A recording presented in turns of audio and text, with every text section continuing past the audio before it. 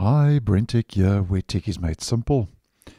So, earlier this week, I let you know that over and above the Patch Tuesday updates that were rolling out for Windows 11, 23H2, and 22H2, and also for Windows 10, Microsoft had also released an update for Windows 11 24H2, which was actually the first Patch Tuesday update for version 24H2 and Copilot Plus PCs and 24H2 was bumped up to build 26,100.1150.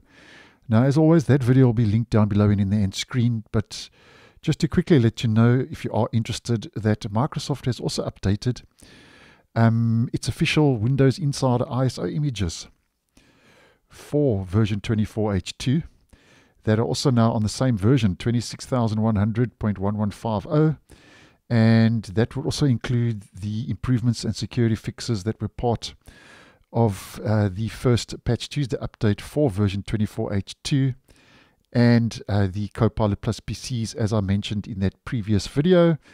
And the ISO images are available for both um, x86 and ARM64 uh, devices. So basically, that means it doesn't matter if your computer uses an Intel or AMD chipset, either or those ISO images will be available.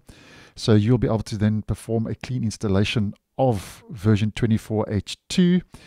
Um, if you want to do that, um, to obviously try it out if you are an insider uh, before it makes its way to the general public. Although it's already on Copilot Plus PCs, uh, your so called normal PCs will only be getting that update as mentioned previously uh, towards the end of September, moving into October. But just one side note here is you will have to still activate the ISO images with a genuine Microsoft product and license key. So just take note of that. And I'll leave uh, the download location where you can actually get these latest ISO images. I'll leave that down below in the description uh, in case you would be interested. So thanks for watching, and I'll see you guys in the next one.